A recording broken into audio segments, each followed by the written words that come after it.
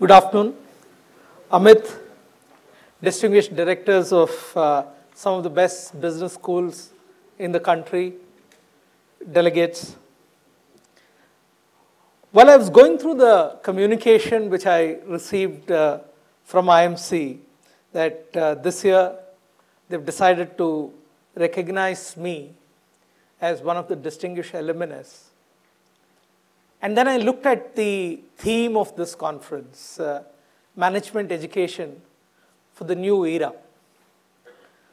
So what I realized was maybe there's a very unfelt bias in the jury to really recognize somebody from the old school, from the dinosaurs era of the management education. And to sort of balance that, aptly recognize a great entrepreneur and a professional from the new era. And in a way, you see the big difference. Uh, I'm very much from the old era. I'm sort of dressed up for the occasion. Neeraj is cool in his uh, t-shirt and uh, represents really the new era. So there is that big diversity, which I think uh, IMC is also trying to drive through this process. So it is with a perspective that uh, I'm really honored to accept this award. And I'm happy that a senior citizen like me has been sort of recognized. Uh, well, coming back to the time which I spent at XLRI, many times it looks almost uh, long, long ago. It's about 39 years ago when I stepped into the campus at XLRI. The batch sizes were very small. Uh, again, many of you from XLRI will realize that we have business management where there are just about 38 of us, and in the personal management, there are about 40.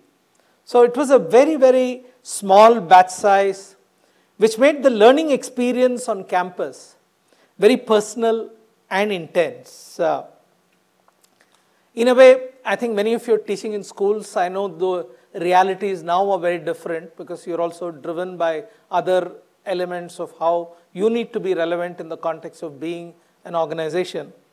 But our experience was there was a lot of one on one with professors. Since most of the faculty lived on campus, the learning really got beyond the classrooms also. And the smaller size class also gave opportunity for a set of very diverse curricular, co-curricular and extracurricular activities. Uh, many of us who just played one or two sports experimented with a lot because this is a very small uh, group size. And hence the whole process of development uh, was also far more holistic. Uh, I see that the challenge today is very different. Uh, uh, obviously, batch sizes are large. I think uh, the infrastructure at campuses are creaking. Obviously, nobody has the ability to have an infrastructure like IIM where we are here today. But I'm sure that the learning methods and the pedagogy has kept in pace, keeping in mind that I think the size of the learning group, the cohorts itself, has substantively become larger. But it's a good time to sort of take a step back and see what is really going to be relevant in the future. And I really thought, based on my experience as a leader, as an entrepreneur, I'll share with you what I'm seeing as the future and what are some of the essential elements uh, which I think thought leaders like you need to be thinking about. As I reflect back on my journey in the corporate world, a lot of the experiences and learnings in XLRI has helped me evolve as a better leader and a better entrepreneur. Clearly, I think it gave a sense in terms of being data driven on solving problems. How are you structured and how do you really sort of put the problem ahead rather than really being fascinated about what you think is right. Uh, but will the same learning approaches which we went through, maybe a mix of case studies, a bit of lectures, uh, be relevant uh, in the future? My answer would certainly be no. The world today is changing, and what I think many of us read is that it's a VUCA world. It's a volatile, uncertain, complex, and ambiguous world. Klaus Schwab, who's the executive chairman of the World Economic Forum, has said that even now it's the time for the fourth industrial revolution, what people call as Industry 4.0. And we are moving into a phase of business where the physical, digital, and biological worlds are converging. And this convergence is going to have tremendous impact on every individual, every society, and every industry. And let's make it clear that this is not going to take a huge amount of time. If you look at every big transition which has happened, starting from the first printing press to the steam engine, what has been consistent is that the pace of adoption in terms of number of years has dramatically decreased. Today, a company which brings out this uh, game called Angry Birds, in the last game which they brought out, they got 5 million customers in just 24 hours. So I think the pace of adoption or the pace to which enterprises will move to Industry 4.0 is going to be very rapid. And hence, I think is the need for people engaged in management education to think about what is it that is really going to be relevant in the new converged world. The World Economic Forum also predicts that by 2025, we'll see commercial use of nanometals which are 200 times stronger than steel and a million times thinner than the human hair. So the convergence which is going to happen soon will also drive interoperability of businesses, information transparency with your customers, self-service. Customers would want more and more services uh, where they drive what they need. Not necessarily they're not going to pick up a product which you say they need to take, uh, and decentralized decision making. All these have huge impact in the manner in which we need to prepare future leaders and how our organizational structures evolve to meet the needs. Uh, in my opinion, in the new world, the single most important aspect is curiosity and continuous learning. Our education and pedagogy has largely focused on people. If you look at our basic education, it's very much in terms of trying to mug concepts and not necessarily apply concepts. And even in higher educational institutions like management schools, yes, I think there's a lot of teaching by case study method, but still we need to go back and see how we're going to ignite the childlike curiosity of people and help them get into a mindset of continuous learning.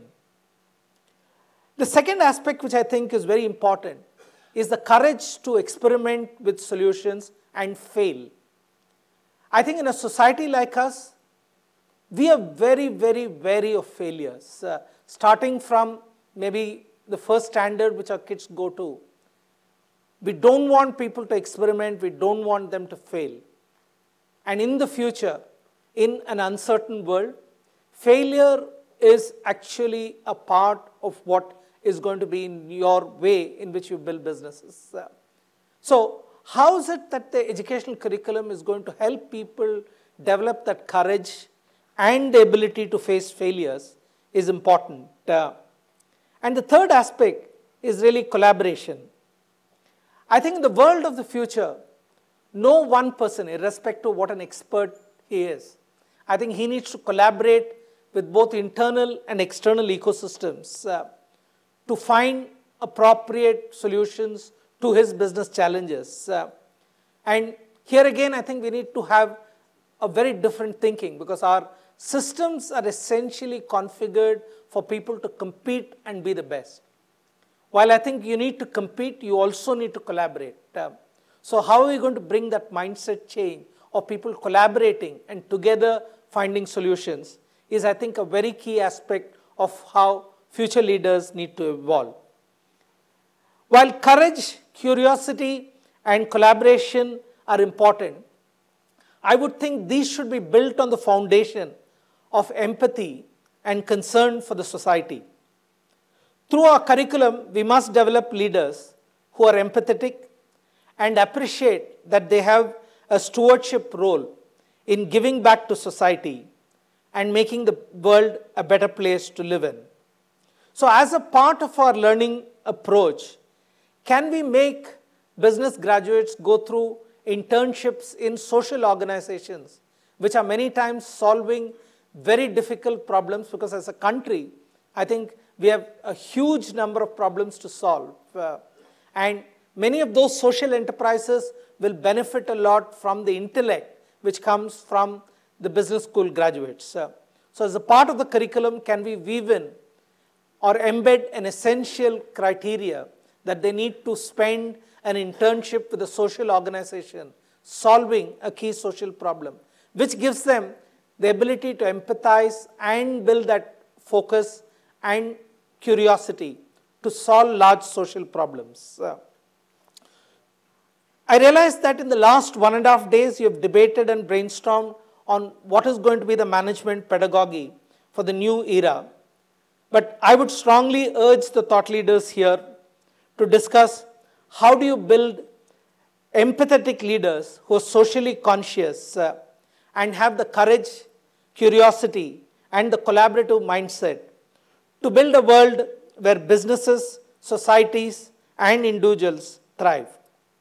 That should be the vision and direction of management education. And in doing so, I think we lead the world in thought leadership. Thank you very much for this opportunity, and I hope you have a great uh, session here.